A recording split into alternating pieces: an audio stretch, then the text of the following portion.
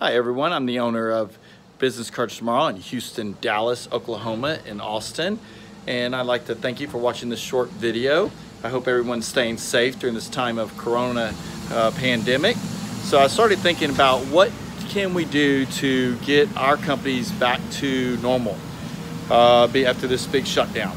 So I was watching Good Morning America and they had Barbara Corcoran from Shark Tank on it and she basically said that you need to double your advertising expense. So started thinking, so they brought on a client, said, you know, I doubled my advertising expense and I got 22 times return. So the more and more I started thinking about it, we're in printing and marketing, and why don't we do something uh, along those lines? So here's here's the plan I came up with.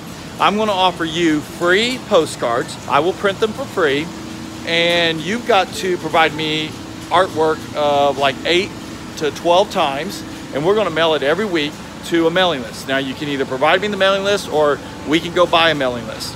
Now you'll need to uh, pay for the postage, uh, but I will print the postcards, provide the paper, the ink, and do all that stuff for you.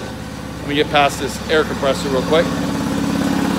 So, so if you're interested in doing that, why don't you contact our customer service department or you can contact me and I'd be happy to go over the particulars with you and let's get out there and market your clients and, and get our businesses back to normal.